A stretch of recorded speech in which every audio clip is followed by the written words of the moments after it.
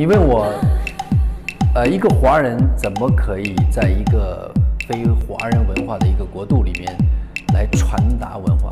这个是很矛盾的。为什么呢？那你要问我，我是做什么的？其实我在菲律宾是拍电视剧的，电视连续剧。在菲律宾这个国家，电视还是一个主要的一个传播文化的一种媒体。电视连续剧生活当中是很重要的。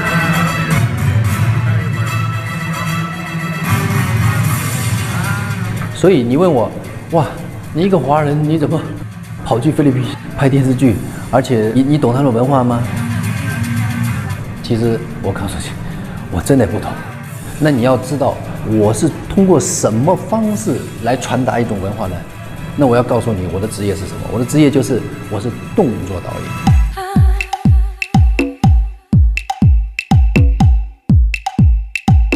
其实动作本身是没有国界的，任何人都有肢体动作，对不对？他的动作出来了，好看就是好看，不好看就是不好看。动作本身的内涵的东西，它是有文化的，动作的形态那是有文化的。尤其我们在拍电视的时候，这些所谓的动作场面，那它也是有文化的。可是因为我接触到菲律宾这样的一个制作之后，我才能了解到，原来菲律宾的动作它的文化是什么呢？其实它是受西方的影响是很蛮大的，所以他每一个在他的戏里面的动作全部都是很西方化的，非常直接。我作为一个华人的动作导演，我要参与到他们的制作当中，如果我没有办法能够把一些新的元素带进去的话，那是没有优势。哎，开始。所以我了解到他们的动作概念之后，我就在想，我怎么可以把一些呃我们东方的一种动作文化，能够融入到他们的制作当中。Action，Action，Action。他们是很直接的，比方说一个人走过来，他就啊砰，这个人啪倒了，没有了。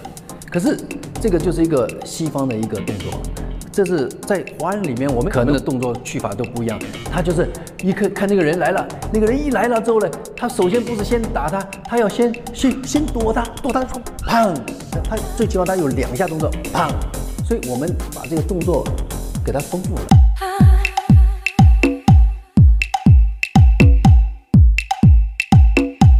因为我们中国的一些动作文化，它是比较花哨的。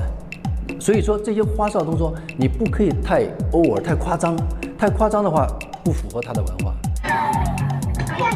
可是你在他的直接的角度里面，你再加上一些比较有一点观赏价值的一些动作，可能他会觉得非常好看。所以呢，在这样一种切入点，我就在想，我怎么可以？把我们的东方文化的动作，然后稍微稍微的改良一些，然后融入到他们的本地的制作，所以这个东西，呃，出来挺好的。